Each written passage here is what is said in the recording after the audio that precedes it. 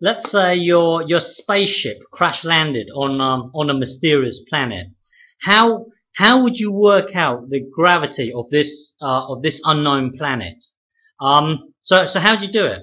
Well, easy. Well, what you do, you um you, you create yourself a pendulum. Okay, Let, let's let's say you you get a string of let's say three meters. It, it could be 1.2, it could be 1.5 or whatever. Okay, we we're, we're going to create a pendulum of length three meters.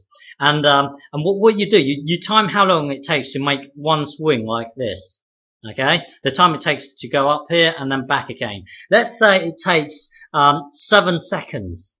Okay, seven seconds. Uh, remember, we're always working in meters and seconds, not hours or kilometers. So, so don't create a string of th three kilometers long. Um, so, so here, let's say t. remember the magical formula uh, t equals 2 pi root L over G. Uh, write this down somewhere. It's a really good formula. So, so here, right, uh, th this is our magical formula. Okay, uh, we don't know how it got there. We, we, we're just going to use it.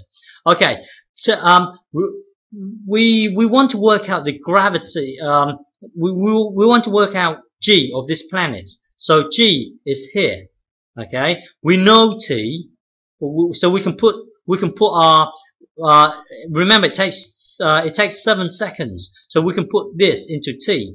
And we know l. L is 3 so the only thing that we don't know is g. So this is how you find out the the uh, gravity gravitational uh, pull of this planet. So hang on, let, let, let, me do it down here. So t let, us put the 7 into the t here. So this would be 7 uh, 2 pi uh, root um, root L. L is three meters. Okay, three here over G. So let's let's leave it as G for the time being. So um, I remember we, we, want to get G on its own. So you, you can visualize this as as one bubble multiplying this bubble here. That's what it means. Okay. Um, so now let's um, let's divide both sides by by by this thing here. Let's let's kill off this thing so that uh, we we want to get G on its own, but G is stuck in this bubble. So let's let's kill off this bubble first. So inside your mind, divide both sides by by two pi. So take the seven down, divide it by two pi on this side. Uh, on the right hand side, we're, we're going to divide it by two pi as well. So that would be uh, three over G uh, there. Okay. So um, so it would be this. Now um, now we're going to square both sides.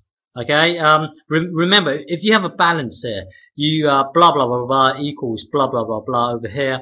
Remember, you, you can times both sides equally to both sides. You can divide equally. You can add equally to both sides. You can take away equally to both sides. You you can also uh, square both sides and you can also take the reciprocal uh, of both sides as well. So, so so here you've got you've got this bubble inside here. Okay, you you want to get that on its own. You've got this square root here. So what you do, you square both sides. So um so let's let's let's take the whole thing down. Uh, seven over two here. Remember this this exists in in, in a bubble because because we, we're taking the whole thing down, and then we're going to do to square this side. And, and on this side here, if we square root, if we square a square root, then what, what's left would be that bubble, uh, 3 over g. Okay, we, we did this ages ago. If, if you um, if you don't understand this step, then you, you, you have to scroll back on one of the videos um, before. Okay, now now um, let, let's square this this thing here. So so so here, what, what this means is this: seven over two pi uh, brackets squared. That's what it means, okay? Because the brackets is saying that you've got to work out what's inside the bubble first, and then you can square it. So, so this will become this. Keep an eye on G, because that's what we want, that's what we want to get on its own. So let, let, let's, let's um, evaluate this now. Let's work this out. Uh, find a blank space somewhere. 7 over 2 pi times 7 over 2 pi. So fraction times fraction. So top times top. That would be uh, 49 at the top. Bottom times bottom. Remember, merge the two numbers together first. So 2 times 2, um, 2 times 2 would be 4, and pi times pi would be pi squared. Okay. Um, again, if you don't understand this, watch uh, watch a video on on Liger. Um, um, when when you when you merge a, lion and a tiger together, uh, blah blah blah blah. Watch if you don't understand this uh, this step, then then I, I made a video on uh, Liger. Uh, so so watch that. So so so now we we know that this thing here equals this thing here. Okay. So so now we we can put it into here. So it will be 49 over uh, 4 pi squared. Um, uh, and then on this side, nothing. Um, yeah, so so it becomes that. Um, and now um, th there are two ways of doing this. We, we can uh, we can take the reciprocal of both sides um, because g is at the bottom, or, or we can times. Um, let's let's uh, let, us take the reciprocal of both sides. Then then you see what I mean. Um, so, so on this side, it would be this over 49. Um, actually, I'm, I'm, I'm gonna, I'm gonna do it the normal way, and then I will show you the reciprocal way after. So now, times both sides by g. Um, so, hang on.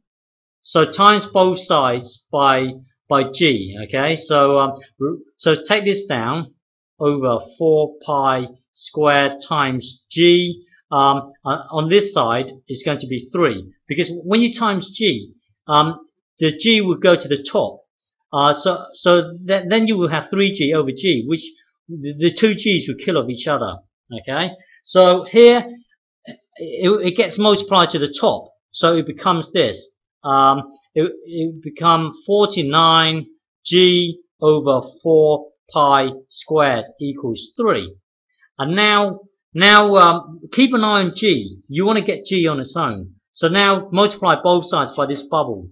So you will have, um, merge the 3 and the 4 together. They're multiplying each other, so it's 12. And then pi squared. This one would be 49g. Now divide divide both sides by uh, by 49 because at the moment you've got 49 times g. So divide both sides by 49. So you have g here, and then you have 12 pi squared over 49. So gravity on that mysterious planet is given by this. So let's let's work this out. Calculator.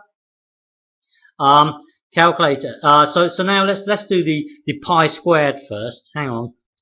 Uh, let me clear this. So it will be pi squared. Uh, is that okay? And then times 12, and then and then divided by 49 divided by 49. So G equals um, 2.4 roughly. G equals uh, 2.4. So, so gravity on this planet, this mysterious planet, is um, G equals 2.4. So the, if you look at G on, on Earth, it's 9.8. So it's a lot weaker than Earth.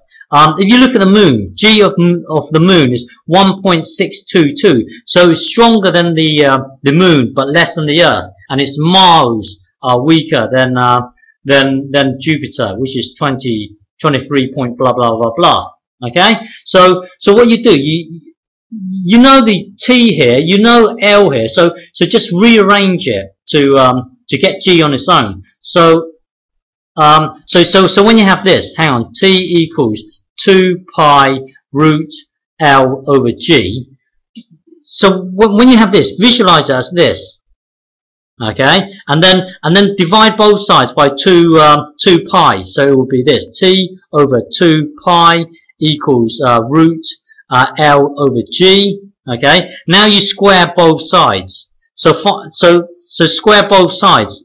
Um, so so find a blank space somewhere. So this would be t uh, t over, hang on, t over 2 pi times t over 2 pi. So that becomes top times top, which is t squared, and then bottom times bottom, which is 4 pi squared.